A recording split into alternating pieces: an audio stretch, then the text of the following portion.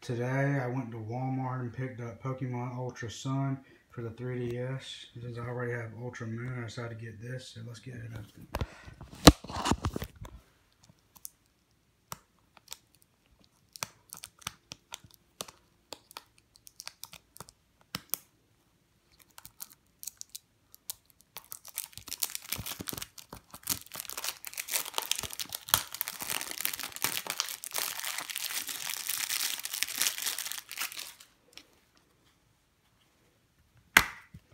Here's the game card and the manual for the 3DS.